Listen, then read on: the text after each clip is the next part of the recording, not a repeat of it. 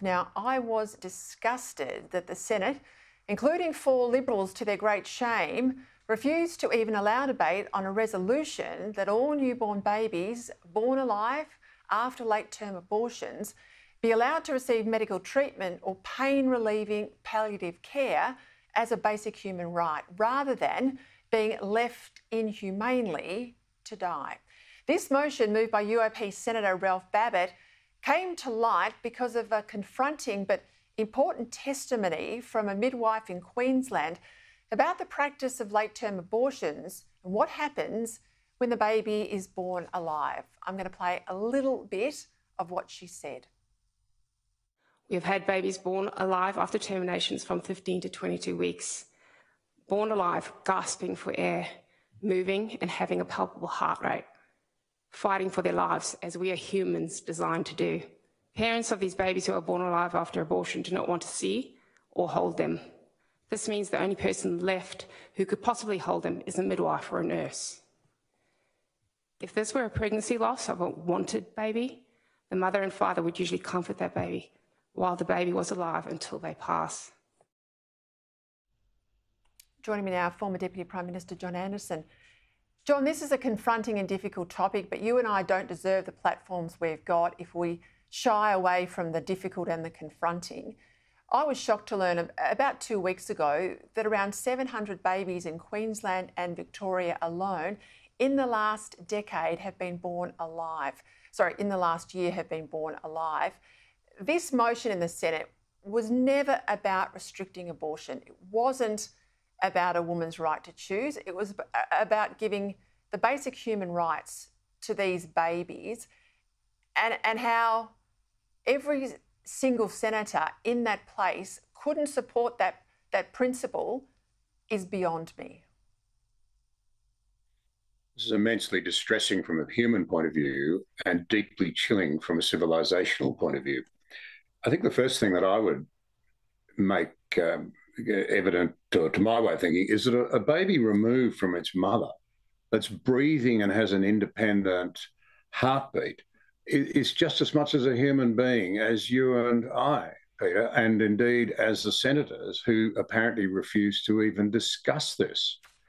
So you can't sweep it under the carpet. You can't say it's part of its mother's body. You can't say it goes to the issue of a mother's right to abortion. You're talking here about a potentially viable human being, up to 700 of them in just two of our states in the last 12 months.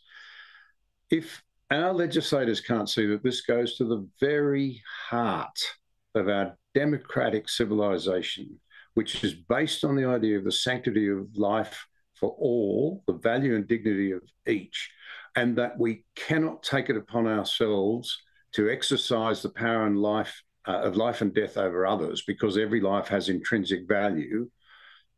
Pity help us. Pity help us.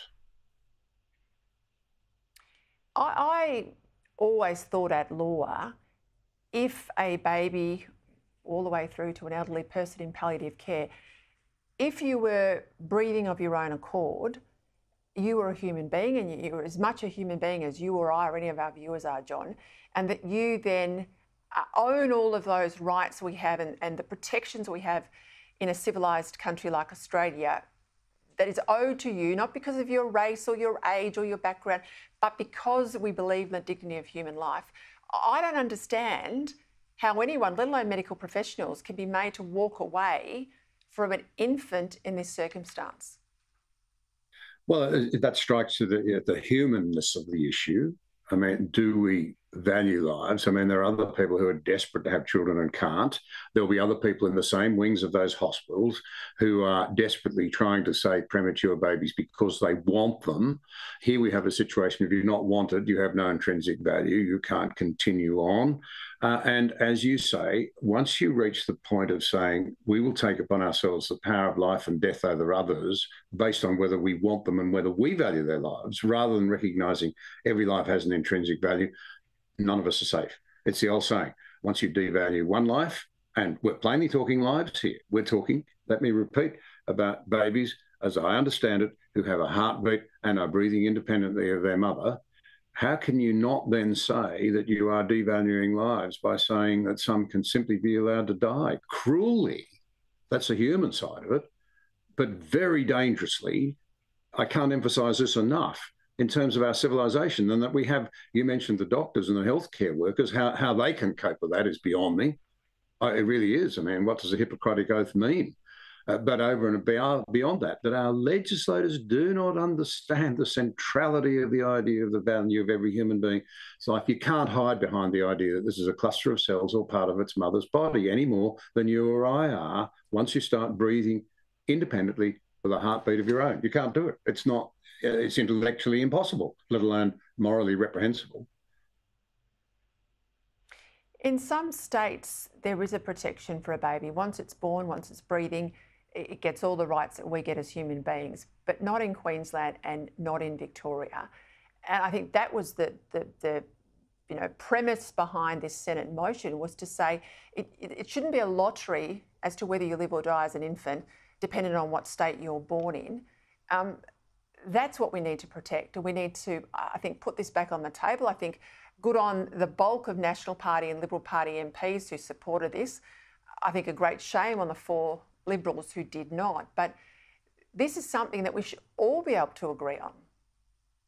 Well, I couldn't agree with you more. The need for national consistency. I mean, that is this is just ridiculous. So you're saying you have a greater li- li- right to life if you live in New South Wales than if you live in Victoria or in Queensland.